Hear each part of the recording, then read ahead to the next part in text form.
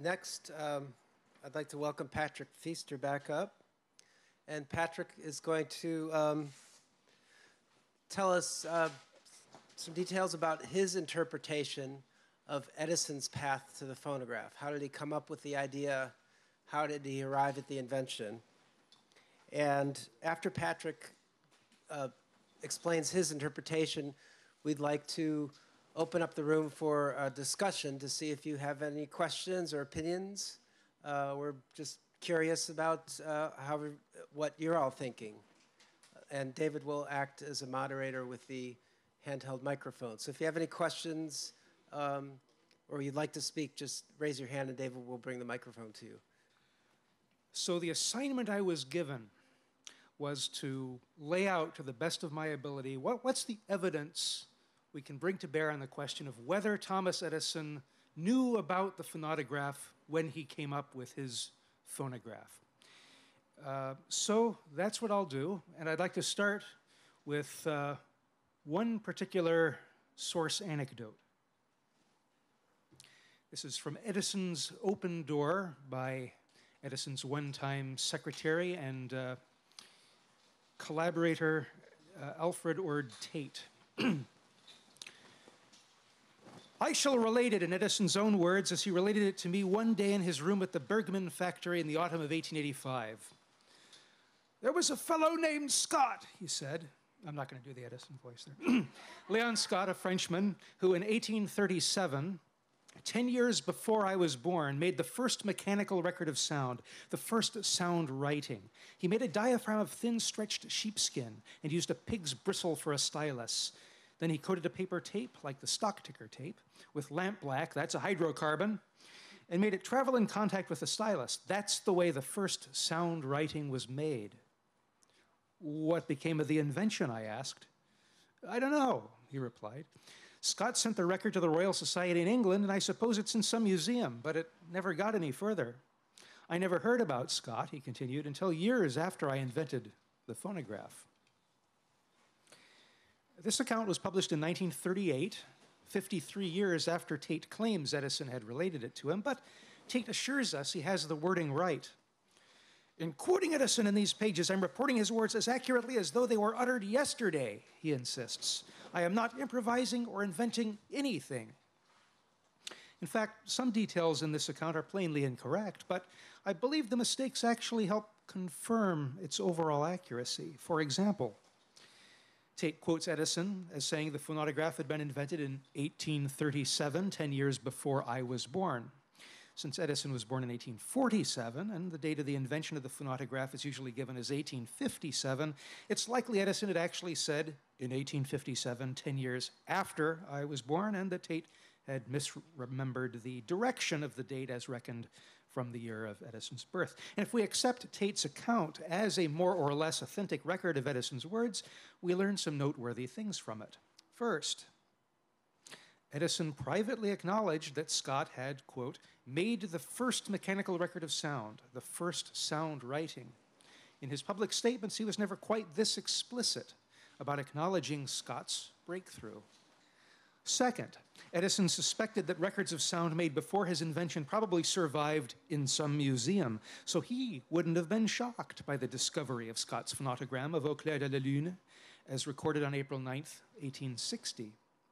Third, and this is the point on which I want to focus here, Edison claimed to have learned about Scott's about Scott himself and presumably his work only after he had invented his own phonograph. Years after I invented the phonograph is clearly an exaggeration, but uh, dates seem to have been a weak point in Tate's memory, so maybe Edison's actual words were something like, I never heard about Scott until months after I invented the phonograph. After all, when Edison visited Washington in April 1878, he's reported to have seen a phonautograph at the Smithsonian. The New York Herald had this to say at the Smithsonian Institution the other day, Edison saw a phonautograph, a machine used for delineating graphically the form of the sound waves and examining it. Curiously, a moment he remarked to a friend, Wise men these were, not to see that they could put a hard point in a piece of tinfoil in front of it, and there was the phonograph. A couple months later, the Evening Journal reported Mr. Edison, and speaking of Mr. Scott, the inventor of the phonograph, said, Why the deuce didn't he think of substituting a sheet of tinfoil for his carbon film? In other words, Edison's supposed to have expressed astonishment that anyone who'd known about the phonautograph hadn't also thought of adapting it to play back the sounds it recorded. That's not the reaction we should have expected from him if he had previously known about the phonautograph but hadn't made such a connection himself. Taken together, these anecdotes seem to imply that Edison first learned about Scott and the phonautograph during his visit to Washington in April of 1878.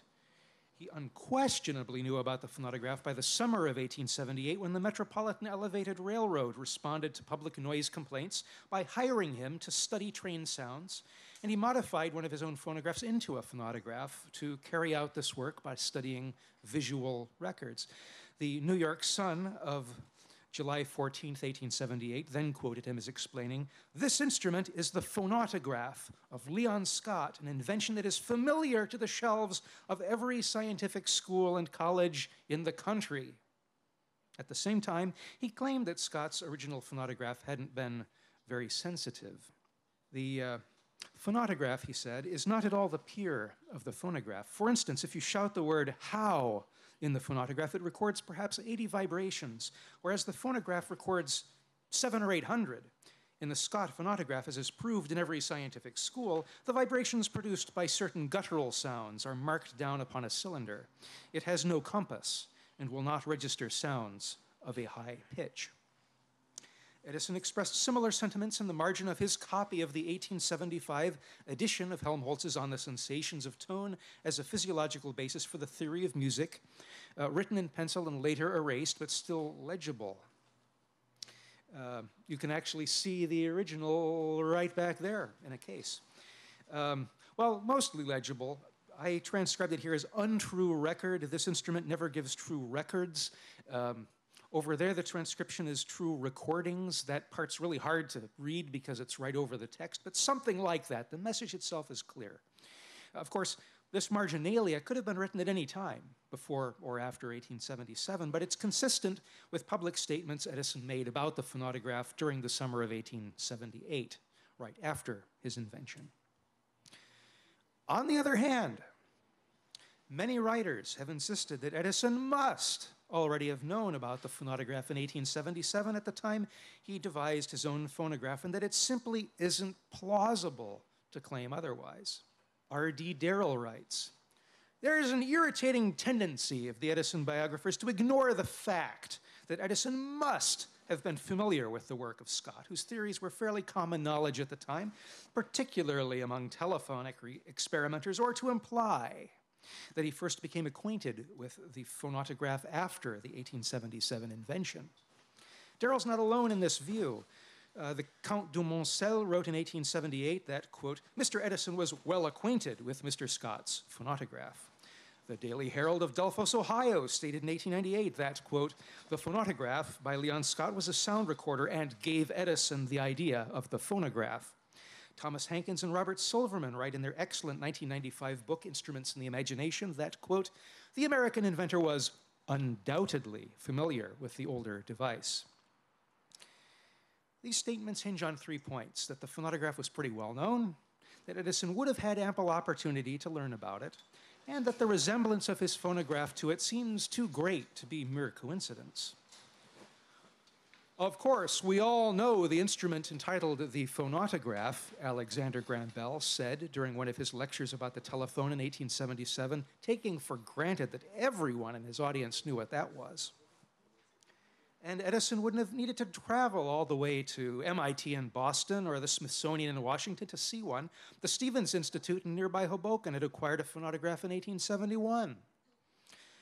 Critics who believe Edison must have known about the phonautograph sometimes also argue that he might have lied about this in an effort to make his own work seem more impressive. I'd suggest to the contrary that ignorance of the phonautograph would be nothing to boast about. It's more the stuff of a mildly embarrassing confession.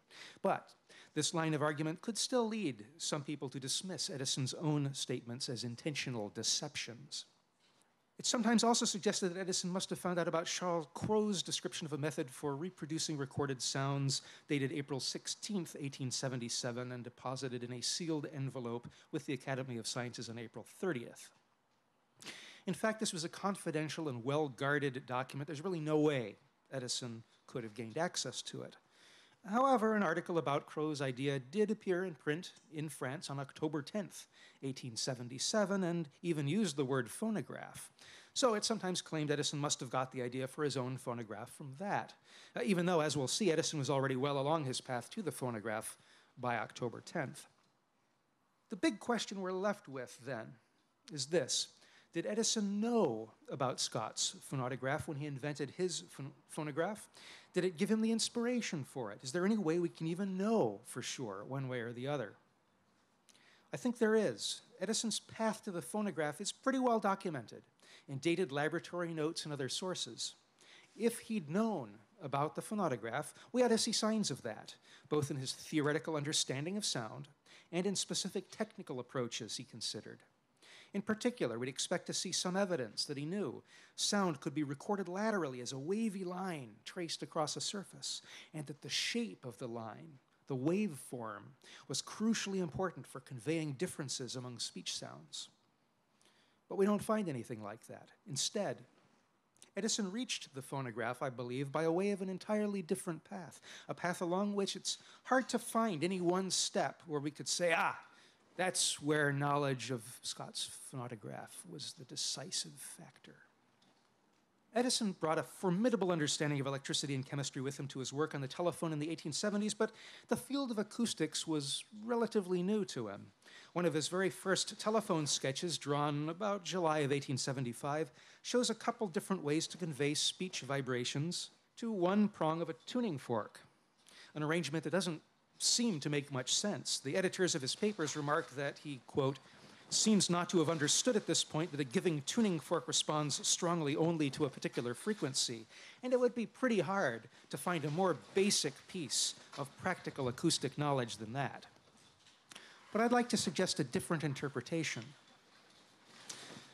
According to a later court deposition, Edison had first tried to read up on acoustics in late 1874 or early 1875 by reading a book called The Wonders of Electricity, which contained an optimistic passage about the possibility of an electric speaking telephone. There were those out there, just the experts who were skeptical. And then took the matter up in earnest in July 1875 at the request of Western Union President William Orton, who gave him an article about Philip Reis's telephone, which I talked about a little bit earlier. As I mentioned then, Philip Reis thought speech vibrations consisted of simple pulses that varied only in how intense they were. Maybe every other pulse was extra strong, or maybe every third pulse. Edison now seems to have picked up the same peculiar idea, either from reading something Reis had written or just from analyzing uh, Reis's telephone and the logic behind it he decided what was needed to fix Reis's telephone was to find some way of transmitting the actual variations in the intensity of each one of these pulses. And that's what he set out to do, as he later explained in a legal deposition, although his language is a little confusing. Instead of strong pulses versus weak pulses, he talks about loud or strong sounds versus low sounds. But one piece of evidence along these lines that's pretty clear dates from March 23, 1877, when he was preparing to apply for his first telephone patent. During a meeting with his attorney, Lemuel Serrell, he wrote at the top of a sheet of paper that, quote, speaking consists of sound at one rate of vibration, meaning one frequency. According to Serrell, Edison said he had discovered, quote, that articulate speech was altogether different to music, that musical sounds had, as was well known, a regular rate of vibration, that speech had both a rate of vibration and a volume. A person could speak in one musical key or another, and that the volume of the respective utterances determined the articulated sounds. Now, suddenly, Edison's earlier plan to convey speech vibrations to a tuning fork starts to make a bit more sense. If speech really did consist of vibrations at a single frequency, there'd be a reason to do that. And here you see Edison's effort to illustrate what he means. From his background in telegraphy, he was used to seeing electrical signals recorded as rows of dots and dashes by the striking of vertically mounted telegraph sounders against strips of paper. And he'd understandably turned to this familiar format for drawing a telephone signal. According to Serrell's later recollection, Edison had, quote, illustrated his ideas and explanations by two rows of dots The upper row of dots indicating musical tone vibrations, the lower row of dots, the greater or less volume of the sounds in articulations, the rate of vibration being the same, single frequency. Edison himself accounted for the sketch in similar terms, speaking of, quote, the upper row of dots representing waves of invariable intensity, they're all the same, as sent from a Reis transmitter, and the lower line representing waves of variable intensity, as sent by my instrument. There are two important points to be made here. First, Edison was using the format of the telegraph record, a row of dots and dashes to illustrate telephone signals already at this point, and not using the wavy line format of the phonautograph. Second, it seems he didn't realize that the kind of signal he was trying to visualize had any meaningful shape to it, since his dots and dashes format could only show the crests and troughs in the signal, not what went on in between them. The significance of the waveform, the wave shape, was the most basic point. Anyone familiar with the phonautograph as a speech recording instrument should have known, and Edison evidently didn't know it. In April 1877, Charles Cros deposited his sealed packet with the French Academy of Sciences. Again, no way Edison could have known about that. But also in April of 1877, a news item circulated in the American press about an inventor named James Davis, who claimed to have invented a speaking telephone back in the 1860s. Among other things, he claimed, quote, my apparatus was even more perfect than that of Messrs. Gray and Bell, inasmuch as it could write or register the sounds in a distinct language, a thing which they have not yet accomplished. Although unfortunately, he gives no further details, and none have come up. This claim appeared in the April 15, 1877 issue of the New York Tribune, which the team at Menlo Park routinely read and cited and it was reprinted in the May 16th issue of the Journal of the Telegraph. In this case, Edison's associate Charles Batchelor even cut and pasted an article printed on the opposite side of the same page from it into one of his scrapbooks, and he was eagerly reading anything about the telephone. So it's likely that the team at Menlo Park encountered the idea of recording telephone signals in the James Davis article. And that idea had definitely come to Edison's attention by May 24th when he met General Benjamin Butler at the Fifth Avenue Hotel in New York. That meeting was the basis for the anecdote related here. It is said that the phonograph was suggested to Edison by a remark of General Butler, who, examining a telephone, said to the inventor, Now you must make something to record these sounds. Back in March, Edison had claimed that speech vibrations consisted of these simple pulses of constant frequency but varying intensity. However, about the time of his meeting with Butler, he'd started considering some alternative possibilities, apparently because he was frustrated that his telephones weren't working as well as he'd hoped, and he wanted to understand why.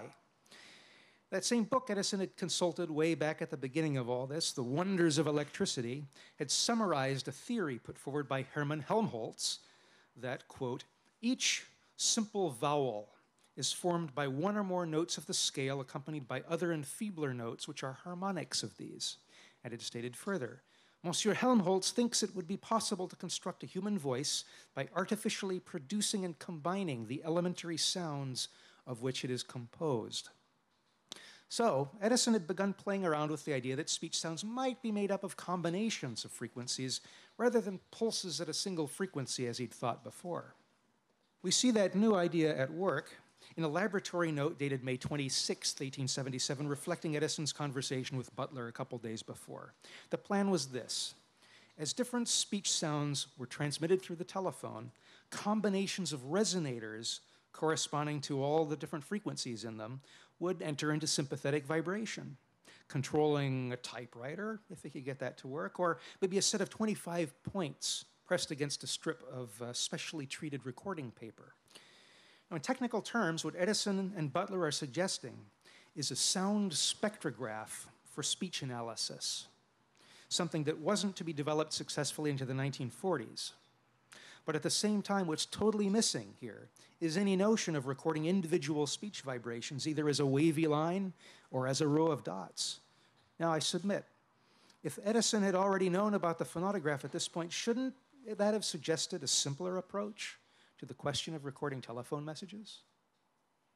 In another note, dated May 26, 1877, same day, Edison proposed to build a keyboard telephone where pressing a key corresponding to a letter of the alphabet, he didn't distinguish between letters and speech sounds, but that's basically what he meant, would set in motion a combination of single frequency electrical brake wheels, basically synthesizing individual tones so that he could create a sound with all of the correct harmonics in it. So here we have two proposed inventions one for recording speech over the telephone, one for producing speech, synthetic speech over a telephone, both based on a principle entirely different from that of Scott's phonautograph and much more complicated. But Edison soon reverted to his earlier understanding of speech vibrations as sequences of simple pulses. One contributing factor here may have been an experience later cited to explain how he'd invented his phonograph. In mid 1877, he was working on an instrument to record the dots and dashes of incoming telegraph messages as indentations embossed on paper, and then later to reproduce the signal over a wire from the indented record. As far as I've seen, the story was first told by Ezra Gilliland at the Electrical Club in New York City in May 1888 as follows. As a source of amusement and to test the rate of speed at which a Morse operator could receive or read, the reproducing machine was caused to run at a high velocity, and when the speed was increased to such an extent that the ear could not recognize the Morse characters, Mr. Edison noticed that the machine gave off a humming and musical sound, which varied according to the characters in the record, apparently talking in a language which could not be understood. What lesson could Edison have taken away from this? Probably this that a record consisting of nothing but simple indentations, dots and dashes, could be used to produce speech like sounds. On July 11th, Edison sketched out a second model of keyboard telephone. This time, instead of setting a combination of separate brake wheels in motion before, so synthesizing a bunch of different tones to make up a sound, each key would now operate a separate wheel of its own, equipped with teeth of varying numbers and heights corresponding to simple pulses of varying intensity. It's just like a little phonograph record, except it's not recorded yet. Meanwhile, Edison's associate, Edward Johnson, had been going around the country giving presentations about the work going on at Menlo Park, and he had asked Edison to send him word of any exciting new developments so he could play them up. Unfortunately, Johnson's personal papers have never been found. So we have his letters to Edison, but not Edison's letters to him, which would also be very interesting. On July 17th, to give one example, Johnson replied to a lost letter in which Edison had apparently promised to send him something on July 12th. He asks about it, so we know the date, and which must therefore have been written on or before that day. He, he writes Now, as to the latest idea of mechanically speaking the letters of the alphabet, Professor B, this is George Barker of the University of Pennsylvania, who teamed up with Johnson as a lecturer, is delighted and says it looks as if you might reach by a shortcut the end sought by scientists for ages, namely, the ascertainment first of what constitutes a vocal sound of a letter, and two, how to mechanically reproduce it. This response hinted that Edison's keyboard telephone idea might have been a bigger deal than he'd thought at first. But one nagging question remained how to figure out what patterns of teeth to put on each wheel. Nothing we've yet read spells out any means of doing this, and there's some evidence that Edison hadn't yet figured that part out. According to an article published in Strand magazine in 1905, Simply as a matter of inspiration, the idea of a talking machine occurred to Mr. Edison, and remembering his experiences with the automatic telegraph transmitter, he concluded that if the undulations on the strip could be given the proper form and arrangement, a diaphragm could be vibrated so as to reproduce any desired sounds. The next step was to form the proper undulations on the strip, and the idea was then suggested to Mr. Edison's mind that these undulations could be produced by sounds themselves, which could then be reproduced. It is therefore rather an interesting fact that in the development of the phonograph, the reproduction of the sounds preceded the original production of the record. Based on an interview with Edison, probably based on something he said.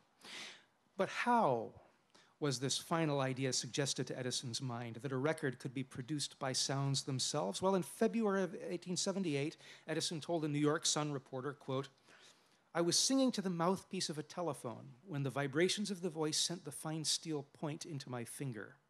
That set me to thinking. The pricked finger story came up again and again in the years that followed as the breakthrough moment and is generally said to have been followed immediately by an actual experiment in which Edison tried embossing speech on paraffined paper. His note of the experiment appears at the bottom of a page of notes dated July 18, 1877. Just tried experiment with a diaphragm having an embossing point and held against paraffin paper, moving rapidly. The speaking vibrations are indented nicely.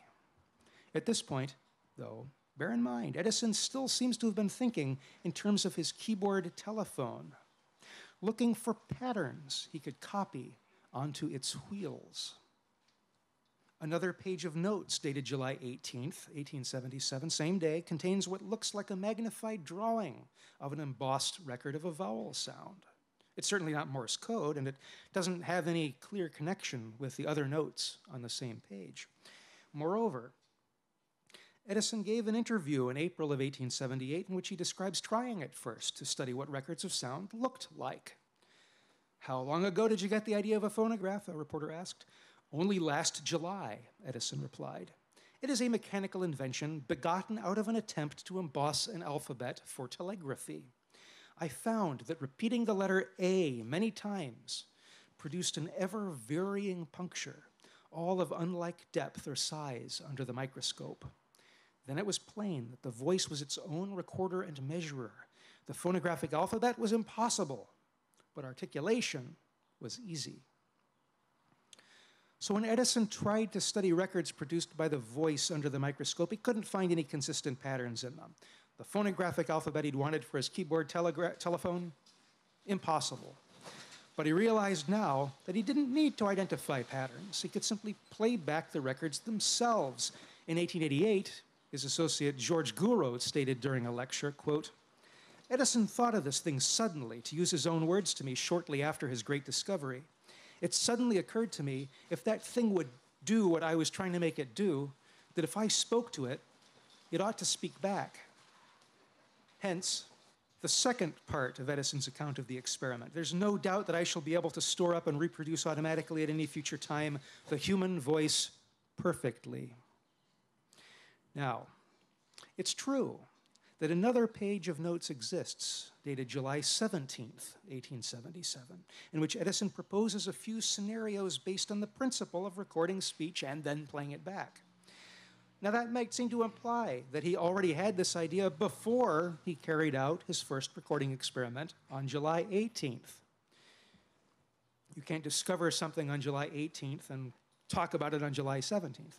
But if we read court depositions about how and when Edison and his associates signed and dated their laboratory notes, we learn that this routinely happened a little while after the fact, not long enough to make a difference in, say, a, a priority of invention lawsuit, but long enough to introduce some uncertainty about exact dates, particularly when work often continued across the midnight hour.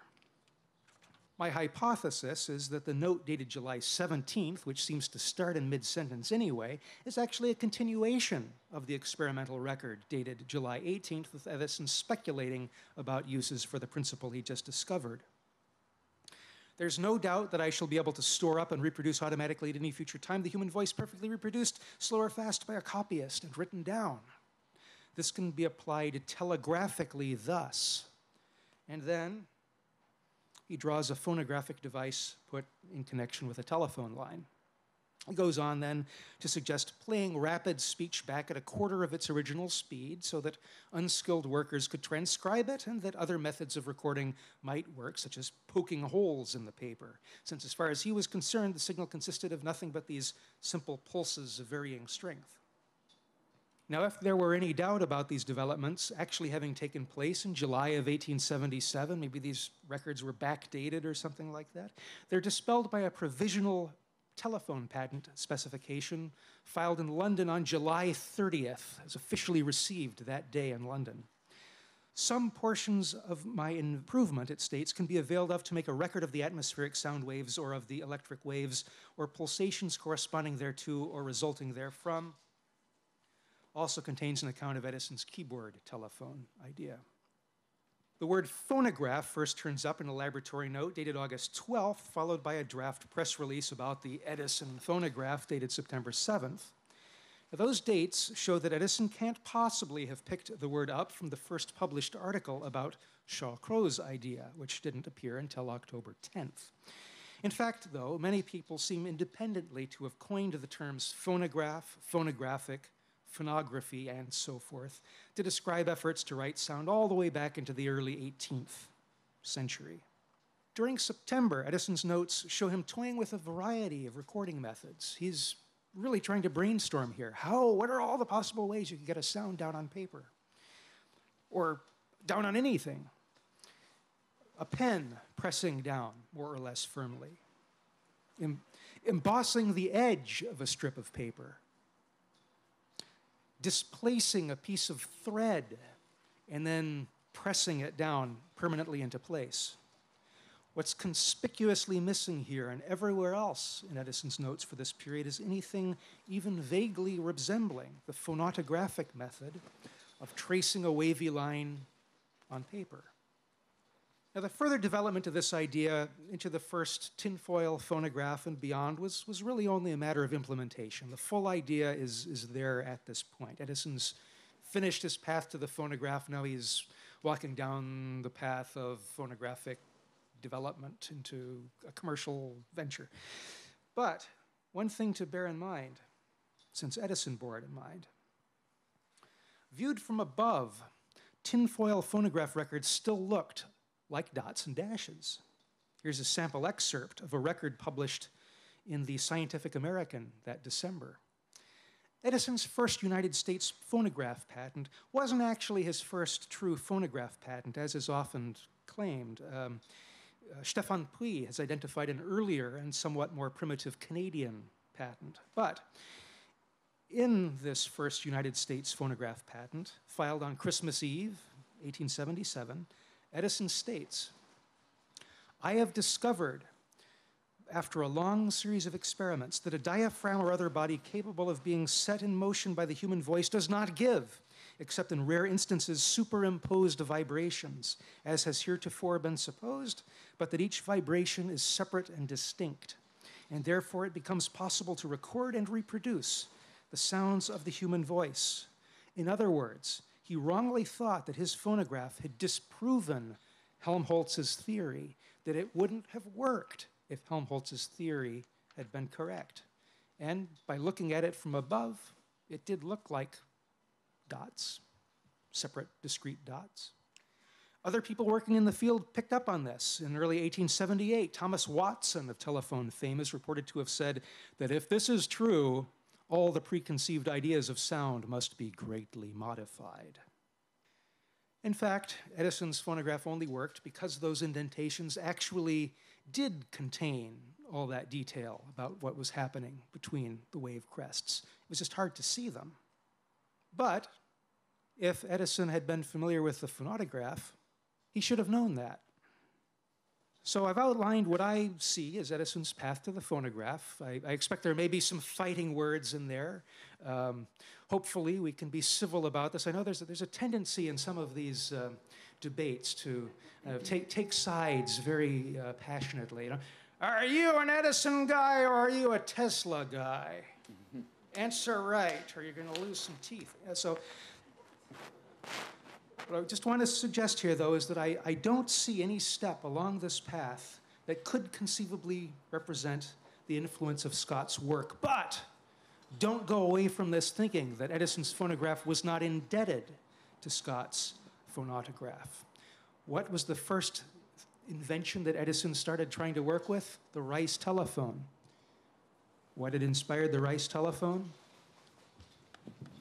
The Scott phonautograph. So, even if Edison didn't know it, he was ultimately indebted to Scott's work, as are we all. Thank you.